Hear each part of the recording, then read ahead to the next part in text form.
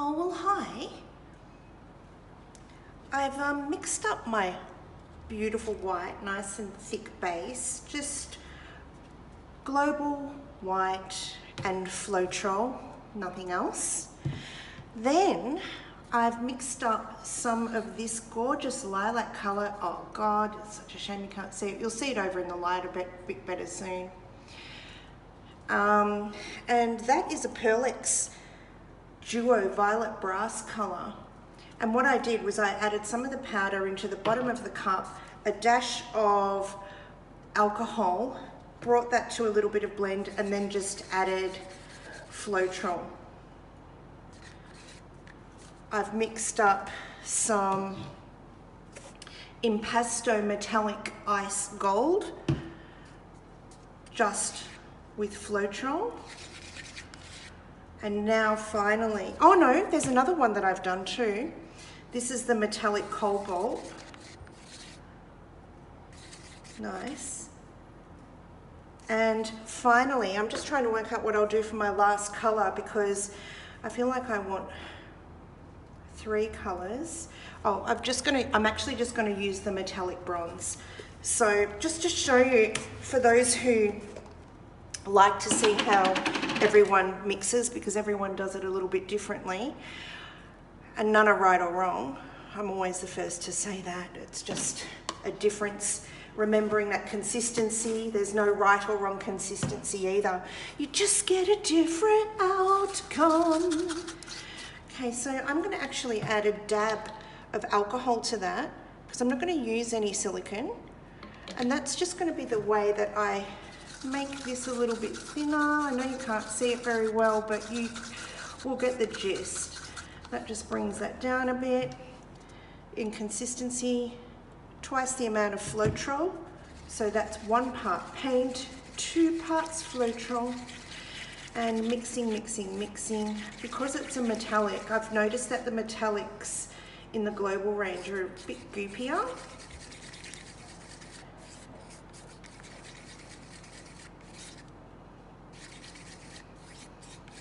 And to enhance this, I'm going to actually get a little bit of um, brown mica pigment from A1 Pigments, blend it down with alcohol and add it into that. I'll just find it. I shan't be long. Oh, it's over here somewhere, guys. In my other videos, you'll see me going on and on and on about this brown nut. I really, really love it. It if you've ever used turquoise and browns together, uh, this brown nut is just off its nut in terms of richness and shimmer and metallicness. It's just gorgeous. So I've added just this little much, little much, how do you like my language today? Into the cup. I'm flustered, can you tell? A drop or a drizzle of alcohol. And then just swish that around and it blends in really, really nicely. And now I'll add that into the Floetrol and paint and it just enhances it. Oh, it's a bit too thin now, but believe me, it will thicken up quite quickly because the alcohol, sorry that you're not in view, the alcohol evaporates, but it still does its job. So there we go, and it's got a few streaks in there, but I actually like that. Uh, strangely, they don't stay upon the drying. All right, so let's set up and pour. It's only a three colour pour. That's interesting for me. Okay. Here we are. I'm ready to layer my paints. I'm just going to be using these little cups. And I'll start with a little bit of white in the bottom.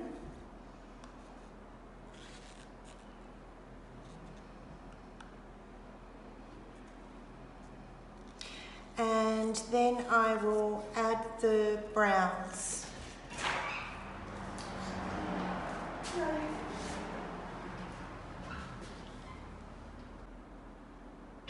Oh, I'm back again. You wouldn't believe it that someone walked in. Of course they do. It's almost like I put the camera on and it's a jinx. So where were we up to? We've put a little bit of white in, but I feel like I want to start again. So I'm not really starting again, just putting the tiniest bit more in so I can um, work out where I am with my process. Oh, the paint's a bit drippy. I'll just put it there.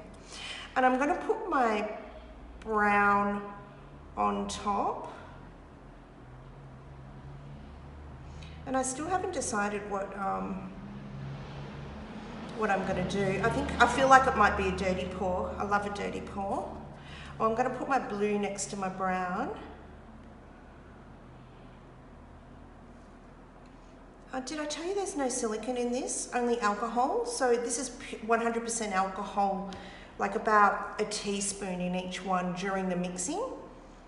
Oh, this is the white diamond. So it's not the flat white or, you know, your titanium white. It's a sparkly white that has diamond little gold flickies through it. And we probably won't see what it's like until it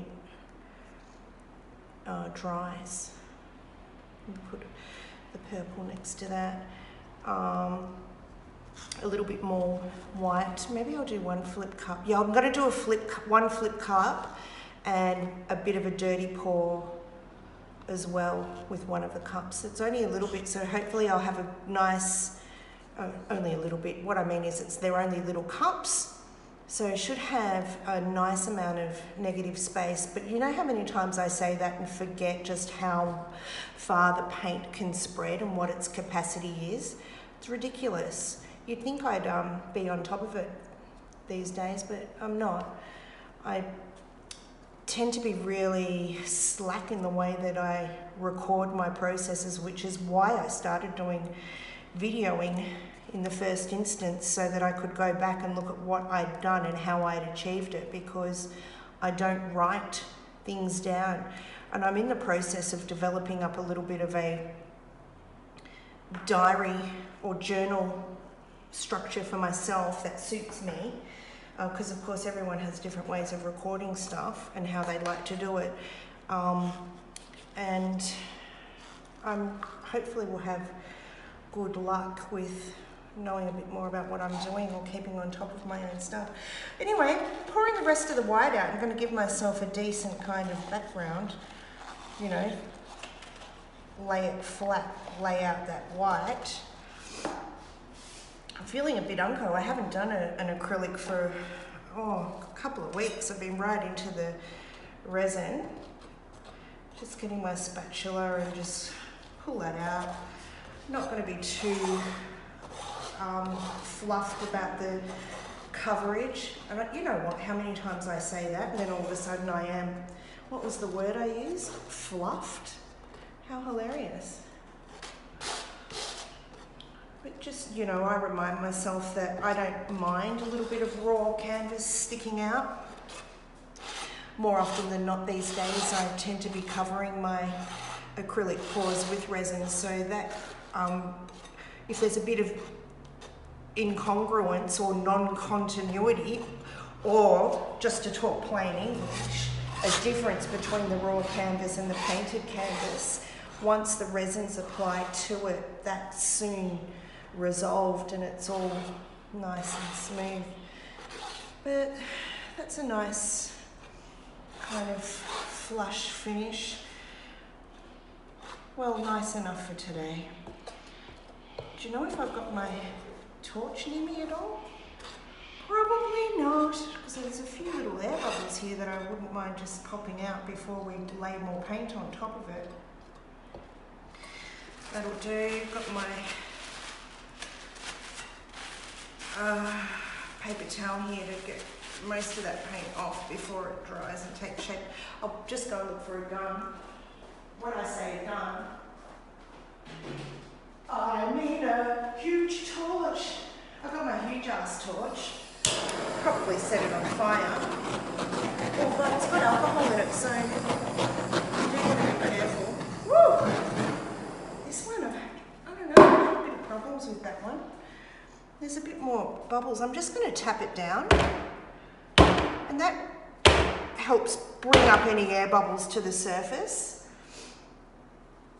And I think I'll do my flip cup here, drag and pull. Oh no, maybe I'll do it in the middle. Okay, you ready?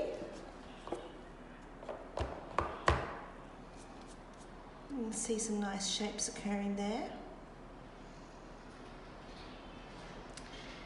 Yeah, and I'll pull this up in a minute and then I think I'll just do some dirty pouring around it. You reckon that'll do? I'm feeling really impatient today. I wonder why. All right, here we go. I'm going to try and bring it here. Ooh. A lot of paint, isn't there? Pull that through there. And looks like there's some nice effects happening. Looks like a fish.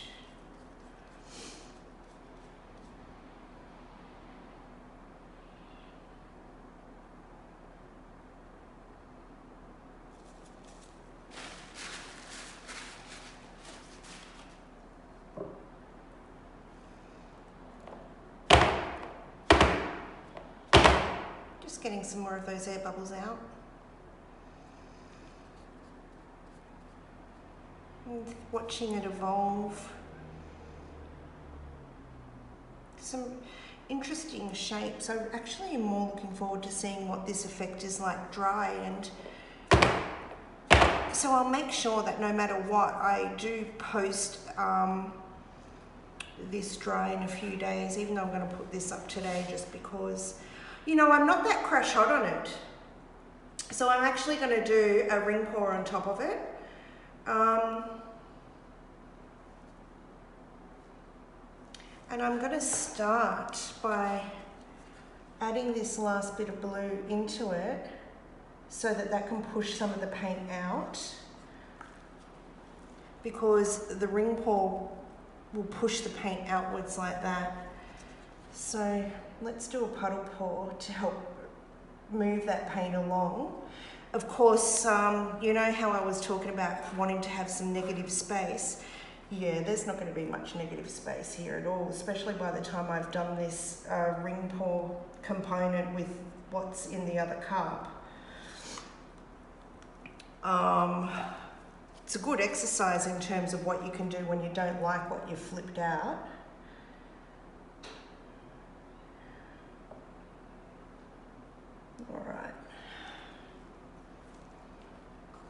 Ready? Here we go.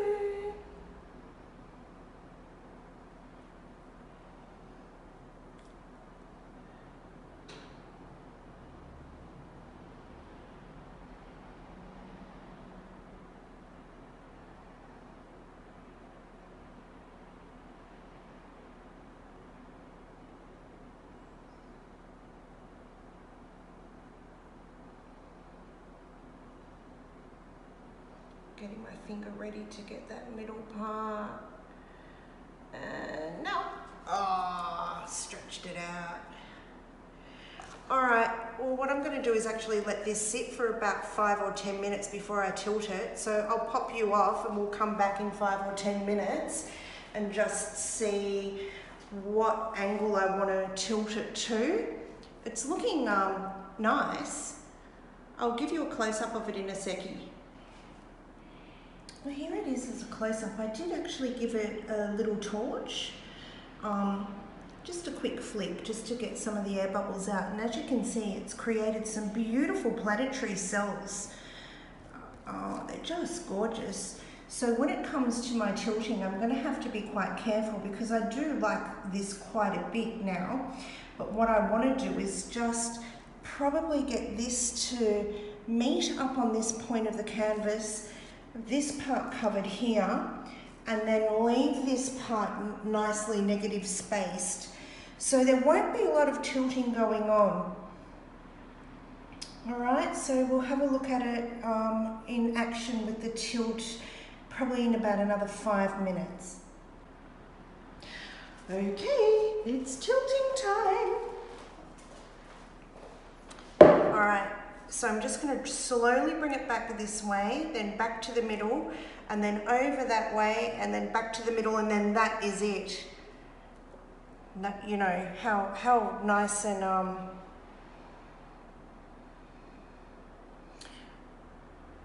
might turn it so you can see it. All right. I can tilt it to you. Slow. Bring it back a little bit. Nicely stretched out.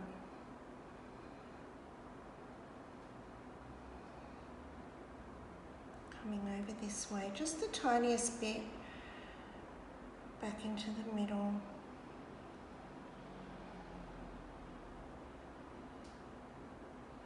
Oh, look at my impatience. I'm pushing it along.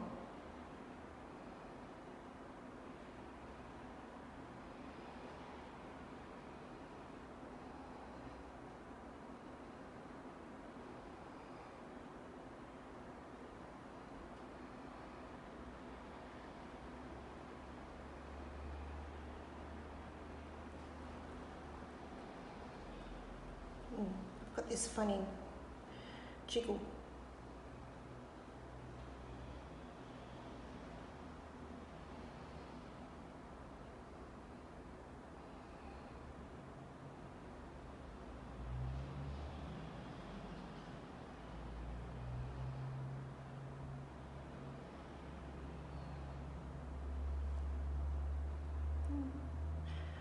I'm um, having to give myself some discipline and put it down because it's actually looking quite good.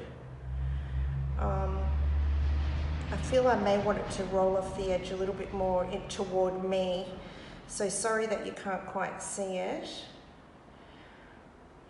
There we go, I've got that now.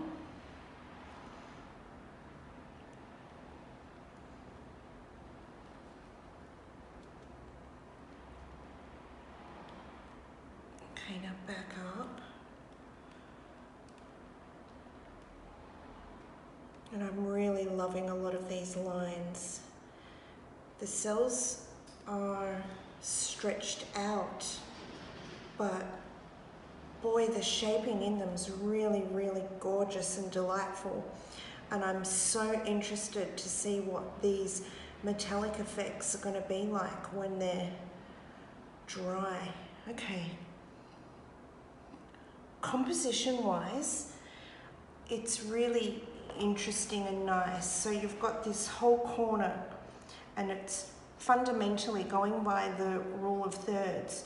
We've got two thirds covered up with the canvas. We've got two, uh, one, two, three of the four um, sides kit kissed and touched by paint and this negative space here is quite standy outish and this little part here is really helping these beautiful delicate lines here have a place of their own on the canvas. I'm going to give this a tap tap and now a flick with the torch and then I'm going to step away.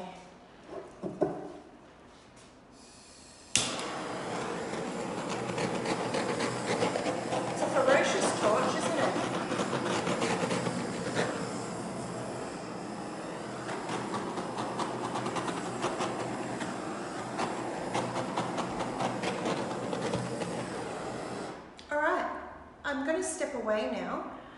Um, I really think it's really, really interesting. Um, I can see quite a lot in it and I'm really pleased with how I've prevented myself from over, over tipping it. Let's get you off and have a look. So here we are coming into it. I forgot to tell you, it's a 16 inch by 20 inch frame. So look at those, that beautiful delicate work up there. How gorgeous. And we did end up getting some of the cells re-emerging with that torching. And once I saw that, I was really careful not to over torch because I really like having areas that aren't so busy with cells. Yet more have emerged even since um, I did that torching. I love the colours and I'm really, like I've said a few times, looking forward to seeing how the metallics dry together. There's the nice diamond ice in there, which will be much more prevalent even next to the white upon drying.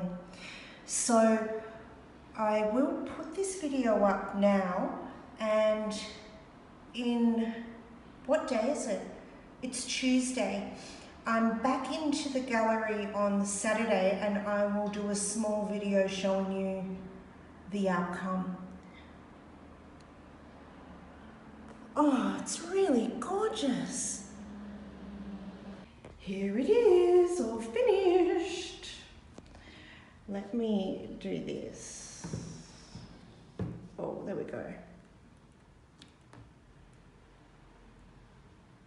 Yeah, don't we like that?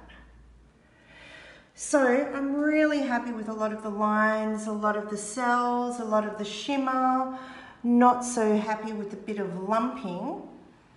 But what I've decided to do is I'm actually going to build up some compound around here into three-dimensional texture and here and then resin the whole lot and um, that's going to be an exciting project too. Oh gee, the paints worked so well, didn't they? Look even there. Ooh.